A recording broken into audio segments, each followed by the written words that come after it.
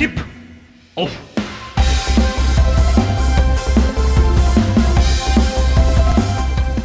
東西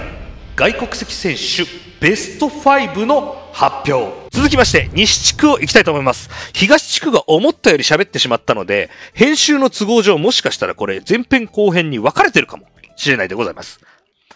それではノミネート選手の発表です。大阪エベッサから DJ ニュービリ選手。シーホース三河からカイル・コリンズ・ワース選手。滋賀レイクスターズからジョーダン・ハミルトン選手。島根サノーマジックからベリン・ビュフォード選手。琉球ゴールデンキングスからジャック・クーリー選手。以上5名になります。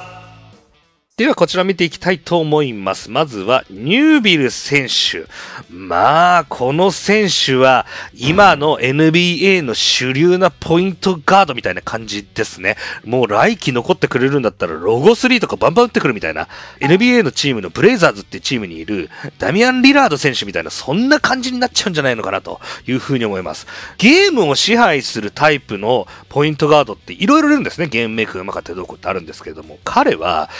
得点でその流れを持ってこれる、結構類まれなポイントガードかなと。よくこんな選手日本に来てくれたなというふうに思います。これは来年も残ってですね、B リーグ慣れした後のニュービリ選手のさらなる成長、これはもう化け物級になると思うので、来季も注目したいかなと思います。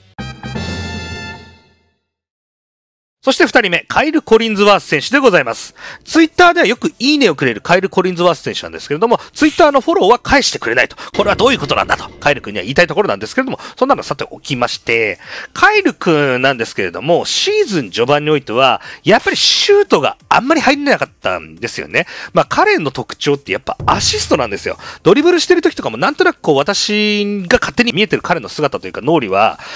パスも出所探してるような、そんなイメージなんですね。ちょっとでも動いてくれたら君の手元に出すよみたいな、ものすごく人思いな選手なんだと思います。なので、シュートに行っていいのか悪いのかみたいな、ちょっとした悩みというか、まあ、そういったのがあったからなのかわかんないですけども、結果的にシュートはあまり入ってなかったんです。これが後半、特にダバンテ・ガードナーさんが、ガードナーさん あの、ダワンテちゃんが怪我で抜けたりってなった時に、どうしよう、もう行くしかないって、あの、吹っ切れてからのカイル君ですよね。もう得点は取るわといった形で、結果的に3試合でしたっけ ?4 試合でしたっけ ?4 試合ですよね。連続のトリプルダブルみたいな、そんなのも記録したりとか、まあ、その結果ですよね。トリプルダブルなんてぶっちゃけ狙って取れないわけですよ。得点もしかり、アシストもしかり、そしてリバウンドもしかりといったところでは、シーホース三河のフロント部分をこの選手はもうかなり引っ張ったと。なので後半のシーホースはかなりこういう意味ではポイントガード筆頭にヒエラルキーが立ったかなというふうに思いました。本当はヒエラルキーが立った状態で金丸神様と河村拓ちゃんというツートップをセカンドトップに置くみたいな、サッカーでいうセンターフォワードに誰を置いてウイングに誰を置くみたいな、ウイニングイレブンやったことある人だったらわかると思うんですけれども、センターフォワードに例えばクリスティアン・ロナウド置いたら左右のあれにネイマールとメッシュ置くみたいなあるじゃないですか。まあそんなようなイメージも配置できたので、これはちょっと来季も残ってほしいなというふうに思っております。おめでとうございます。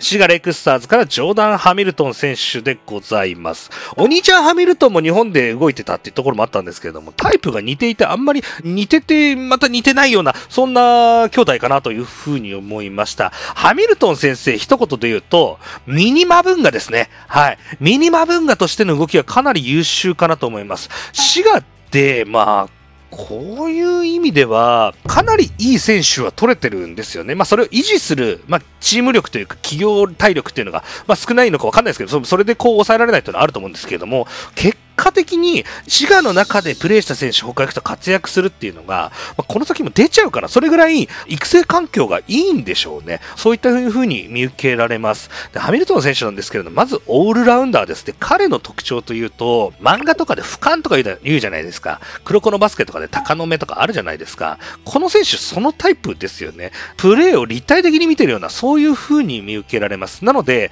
結個気をつけなきゃいけないのは、俯瞰して見てる分、自分の手前に選手入り込むとスティールされたりとか、思ってる以上に敵が詰められちゃったり、おお、なんだみたいなプレーは多いのは事実なんです。その結果シュートが外れちゃったりとか、ターンオーバーするのもあるんですけれども、それ以上に空間で見られるので、人を離れてる状態、ボールがない状態でも動かせる選手かなというふうに思います。なので、ここは自分が行かなきゃっていう時はもう決まってるので、特にクラッチタイムとかになると決めてきますよね。まあそういったところの強みが見れたので、これ来季、滋賀の他の選手の成長度合いがどうなってるか、まあここが楽しみかなというふうに思います。一皮向けてくるんじゃないのかなというふうに見ております。続きまして、島根からビュフォード選手でございます。まあ、この選手と言いますか、まず島根に関しては、島根で1年日本を経験して、翌年どこかのチームに行くみたいな、こう、外国籍選手受け入れ所みたいなところが、まあ、島根と滋賀と、まあ、この2つかなと思うんですけれども、まあ、島根は中国地方っていうのもあるので、野球でいう広島カープもそうじゃないですか。広島で活躍すると巨人に行くみたいな、まあ、そんなようなイメージになっちゃってるんですけれども、ビュフォード選手なんですが、島根で良かったなっていう感じでス。プレースタイルがあっってましたね。島根のプレイスタイルって日本人選手たちがそんなに中にポジション取ったりポストアップしないじゃないですか。で、こうコーナーに張ったりとホーンズとかでこうワイドに取ってくれるので、外国籍選手の中でも、リードトラビス選手なんかこうインサイド入ったりしてるときに、ビフォード選手とかだと、フリースローラインの横ですよね。まああのスペース、ミドルゾーンのスペースみたいなところから、ドリブルして打てると。しかもこの選手非常にバネがあるんですよ。で、一歩も大きいので、そのタイミングでファールとか取れちゃったりするわけですよね。まあこのプレイスタイルが、まあ他のチームだと生きなかったりするわけですよ。まあ、これが島根だからこそ余計に輝けたって言ったところでは、まあ、彼専用のオフェンスっていうのも組みやすくなりますよね。で、彼の良さってまあオフェンスももちろんそうなんですけれども、その結果、パスを回せるようになったんですよね。しかもそのパスの精度が高くなっていったんですよ。試合に出れば出るほど後半に行けば行くほど高くなって良くなっていったと。パスって面白くて連鎖するんですよね。1人目のパスがずれたら2人目のパスもずれるんですよ。なので、例えば左45度からトップ、トップから右45度にパスするじゃないですか。これは左45度からのパスが、例えば右に出す、まあもしくはシュートを打つっていうのに、トップに立ってる選手の左側に出たとするじゃないですか。もうそしたら体ぶれますよね。そっから右に出すじゃないですか。そうすると今度右45度に出すときに右手の40、もうちょっと先ぐらいに出ちゃうみたいな、こんな感じでブレ出すんですよ。これが、スパッと胸元に来ると、次の選手出した時のスパッと真ん中に来るって、まあ、パスの連鎖ってこういうのがあるんですね。で、彼、この辺の中でも一つやっぱ思ったのは、縫い目ですね。縫い目の使い方がかなりいいかなと。逆に言うと、ビフォード選手っておそらく縫い目かなり気にする選手なのかなというふうに勝手に思ってます。なので、縫い目がスパッとしてる時はダンク狙いに行くみたいな。やっぱりキャッチのあれもあるじゃないですか。皆さんもバスケットボール触ったことあると思うんですけれども、縫い目が手にフィットした時って、なんとなくシュートも入りやすいみたいなのあるじゃないですか。私もダンクはできないんですけれども、例えば縫い目がこう、ごちゃっとなってるところに持っちゃうと、シュートもしっかりなんかちょっとやりづらいなっていうのがあるんですよね。まあ、こういうのちょっと気にするタイプなのかなというふうに見ましたが、まあ、非常に優しい選手だなというふうに見ております。これはあの、ぜひあの、来年も残ってほしいなというふうに私は思っておりますので、ビホード選手よろしくお願いします。そして最後5人目。琉球ゴールデンキングスからジャック・クーリー選手でございます。はい。まあ、キングスを引っ張ってくれましたね。まあ、日本人選手の中で、まあ、田代氏もしかり、まあ、岸本くんもしかり、隆一もしかりといったところではあったんですけれども、やっぱジャック・クーリーですよね。まあ、クーリーがいてくれるからこそみんな好き勝手できると、俺が取ってやるよと。まあ、確かにオフェンスファールも多いですし、ファールも多いですし、まあ、大体ベンチで怒ったりするんですけれども、なんかザーッとすごい怒ってるというか吠えてたりするんですけれども、やっぱ清白選手って、琉球って必ず一人いるわけじゃないですか。あの、以前にいた選手だと、まあ、エアーズ選手しかり、アイラ・ブラウン選手しかりと、まあ、気を吐くプレイヤーっていうのは必ず一人は欲しいなっていう中、このクーリー選手はやっぱりこう、精神的支柱だなというふうに思います。特にオフェンスが好きな琉球に関してオフェンスリバウンドを取ってくれるといったところは、かなり相性がいい選手だったんですね。なので、こういった部分では、彼のプレーのみならず、そういったところ、そして、例えば初日こう活躍しながどうこうってなったとしても、ツイッターとかで彼こう、滑ったりなんでみんなありがとうみたいなとこあるじゃないですか。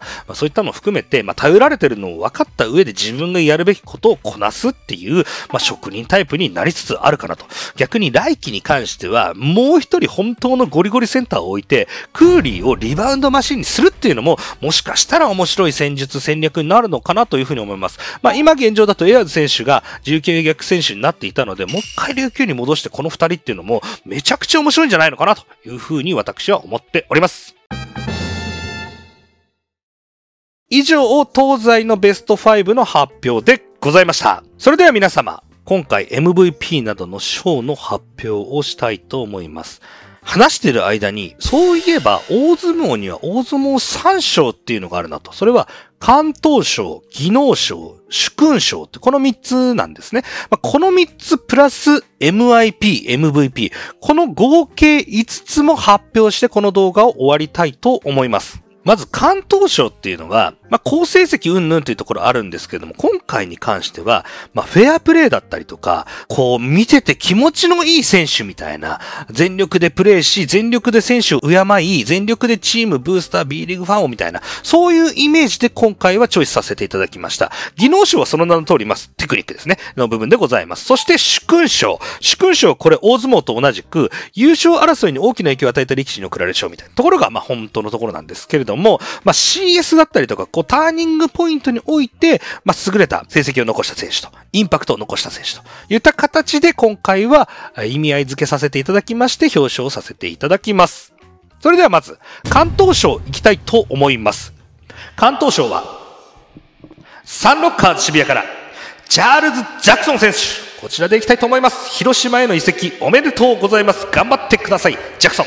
まあ、ジャクソンといえば、まあ、ファールだったりとか何だったりとかで選手、相手選手を倒しても、たとえボールがリスタートされてたとしても、相手選手を起こして戻るっていう。おいおいおい、お前先戻ってくれよっって一見思いがちなんですけれども、そんなことなくっていう、まあ、これを常日頃からやってるっていうのが、こう、チャールズ・ジャクソンの人の良さを見てわかりますよね。あとはベンチなんか見てると、こう、お祭り男の中心にいるなって言ったところが、まあ、今回関東賞にふさわしいのはジャクソンかなというふうに思いまして、チョイスをさせていただきました。続きまして、技能賞でございます。技能賞は川崎ブレイブサンダースからニック・ファジーカス選手でございます。確かに今季、ちょっと村っ気が多かったのも事実なんですけれども、まあ、別にっていう話ですよね。それがあったからどうこうじゃなく、やっぱり彼の技術は素晴らしいっすわ。もう意味がわからないです。意味がわからないっていうのは、ゲームしてるみたいです。NBA と 2K なんとかってゲームとかあったりするんですけども、バスケゲームしてる感じで、そんなシュート普通に入るかっていう、まあ、それ決めてきちゃうっていうところなんですけれども、そこで調子の良し悪し判断されるっていうのは、確かに私も何とか言ったんですけど、これはかわいそうだなと。もう普通の人だったら、まあ入んなくて普通なところを、ニックだからこそ普通に決めたんだなっていったところを見ると、うん、まあニックはもうそもそも優れてるんだなといったところでございます。まあそこの衰えはあんまり感じなかったといったところでは、まあテクニカは今回はニック・ファジーカスで行きたいかなと思います。まあ時点においてはジョシュ・スコット選手を今置いてたんですけれども、まあ、彼のオフェンスリバウンドがなんで取れるのかっていった、そのテクニックの原因究明、解明までいかなかったといったところで、まあ、今回の技能賞はニック・ファジーカス選手にさせていただきました。そして、主勲賞、大きな試合で活躍といった選手で表彰させていただきたいと思います。宇都宮ブレックスから背番号5番、LJ ピーク選手でございます。まあ、CS での活躍を見れば、皆さん、ピークで文句なしかなと思います。いかがでしょうか？では続きまして MIP 賞の発表いきたいと思います。MIP 賞を簡単に言うと年間通して最も成長したでしょう。っていうふうにまあ思っていただければと思います。今回は特別に2名です。選びきれませんでした。1人目、シーホース三河からカイル・コリンズ・ワース選手。そしてもう1人、島根スサノーマジックからペリン・ビュフォード選手。この2名をチョイスさせていただきたいと思います。特に1年目とかこういう幅をね、制限した方がより分かりやすくなると思うんで、来年度はそんな形で勝手にポパイでしょうみたいなのを作っていきたいと思いますが、今回は1年の中で最も成長していったのは、まあこの2人かなというふうに私は見ております。皆さんいかがでしょうか？さあ、それでは、ラスト、いきたいと思います。B リーグ2020、2021外国籍選手 MVP は、富山グラウジーズ、ジュリアン・マーブンが先生でございますまた先生かよって思うじゃないですか。そうじゃないんですよ。そうじゃない。皆さん、より注目してみましたよね。この影響度、やばかったと思います。過去見ても今年ほどやばかっったマブンガ先生はいないと思います。それに加えて富山の熱いブーストが流れ込んだといったところでは、本当に手が止められない選手だなというふうに思いました。逆に来季において対策された時にどうなのかといったところでは、これ毎年 NBA のキングと言われるレブロン・ジェームズ選手もそう言われてるんです。衰えたなんとかだ。でも乗り越えて結局トップチームにいてチーム優勝してるんです。そういった意味では、このマブンガ先生には、まだまだ成長して、まだまだ対策して、持ち前の頭の良さでですね、B リーグ界を盛り上げていってほしいと思います。今回に関しては、正直最後まで悩んだのはライアン・ケリー選手でございました。この二人、試合出場時間、得点だったりとか、もうかなり似てるんですよ。アシストとかターンオーバー。まあその辺は多少マブンガ先生がターンオーバーをどうこうって、まあそれボール持ってる時間が長いからですね。こういうのもあるんですよ。その中で、まあまあ全部見た中で、最終最後最後評価したのは、そう、アシストでした。このアシストが来年度の富山をもっと強くするだろうと。こんなにマブンガ先生が実はパスしなくとも強くなれるだろうといったところも含めて、今回は最終最後アシスト数を見させていただいて、マブンガ先生を MVP にチョイスさせていただきました。